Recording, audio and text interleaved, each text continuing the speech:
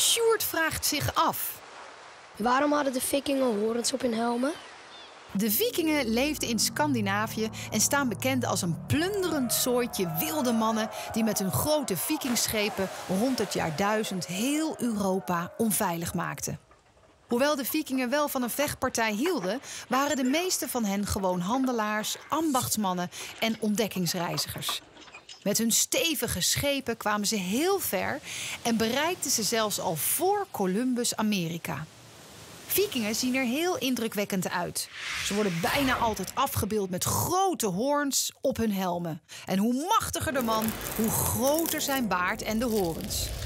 Maar het is niet erg waarschijnlijk dat de Vikingen werkelijk zulke helmen droegen. Ze zijn tenminste nog nooit gevonden. Germaanse stammen, die lang voor de Vikingen in het noorden leefden, droegen bij ceremonies wel hoofddeksels met hoorns. Ze hadden zelfs hele geweien en vleugels op hun helmen. De grote componist Richard Wagner liet zich in de 19e eeuw door deze stammen inspireren toen hij de opera Die Walküre schreef, waarin vikingen voorkwamen.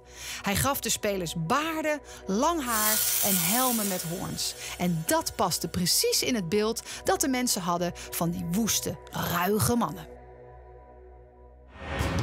Vond jij deze animatie ook leuk? Ga dan naar de site, want daar staan er nog veel meer.